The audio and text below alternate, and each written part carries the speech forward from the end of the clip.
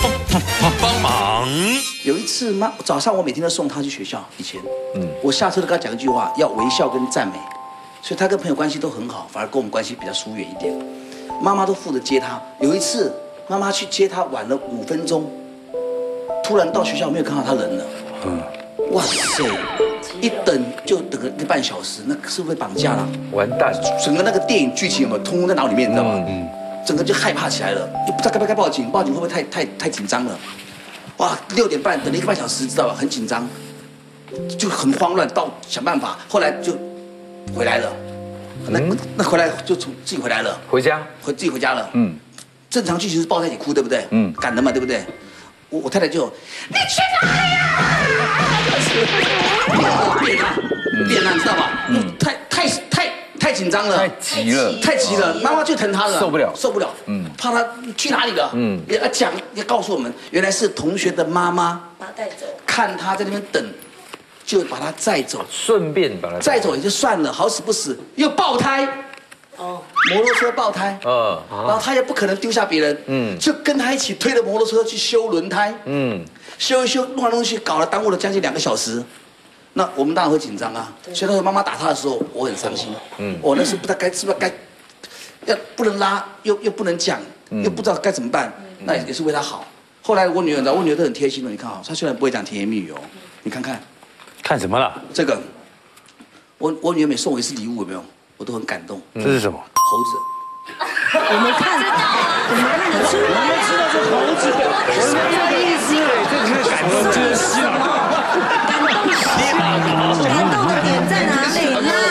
因为我我都一个人睡嘛，我女儿觉得我很寂寞啊，哈，都就送我一个这个，把摆到我床就那。件事情。我之后我每次生日，我女儿都会送不同礼物。哦这样子我就放到我床边。那送的时候胸部有几根针吗？没有没有，秀琴有一次是误会自己女儿，对，那时候是他八岁生日的时候。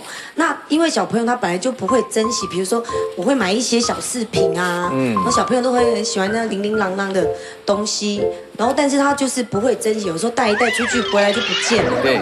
然后想说八岁了就是一个成年礼啊，然后想要买一个贵重的项链当他生日礼物，也花了几万块这样。然后我就跟他讲说，希望妈妈希望你带在身上，就是你要很珍惜。呃，这个很贵重的东西，没有妈妈的允许，你千万不要拿下来。是就一整天就一直这样这样一直跟他讲。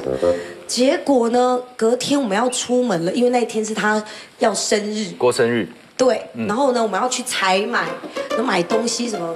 后来我就想说，嗯，看到他项链怎么不见了？我说项链啊，怎么不见了？这样子，然后他就是想说，有啊，妈妈，我昨天有人拿给你，他还没讲完，我就就两巴掌就过去了，打志远的，没有打他。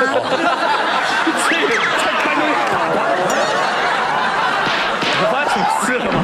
是，当下我真的很气，然后我就一直在那边边骂边打，一边一边叫他找这样。刚好我就刚好看到不知道，就是挂衣服那边就有一个藤条，来了，哇塞！我就一直往他屁股、大腿就大小腿这样这样一直抽一直抽。有没有严重啊？喂，哎，是个项链而已嘛。我就是疯了，然后你知道志远回来的时候，说发生什么事啊？你干嘛把小孩这样？然后你知道他知道爸爸回来，他就开始，嗯啊，就开始哭。我说你再给我哭，嗯，我就把你送到警察局，然后这样，他就整个就一直警察局干什么？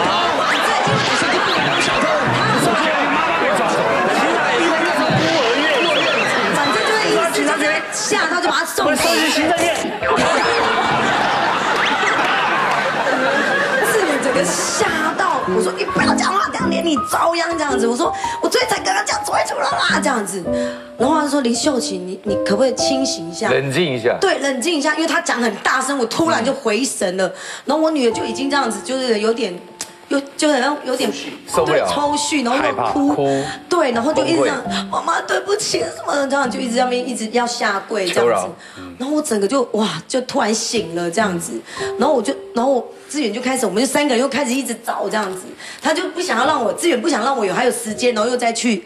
就打小孩这样子，然后后来呢，他就那个项链就原来是前一天他就放在我沙发的旁边，然后沙发有那个后垫，就掉进去了，就还很深，然后只其实找一摸就摸到，只是就鬼遮眼，怎么找都找不到。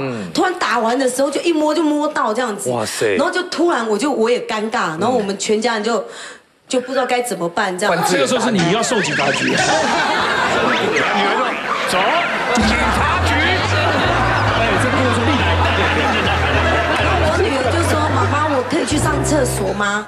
然后她就进去厕所，开始就用捂着哭，他就在一直搓他的脚这样。痛死了，哇对，然后我老公也不就也不想讲现在，然后我就进去看他一下，我本来要好好的就是安抚嗯他，就我到那时候我就不行了。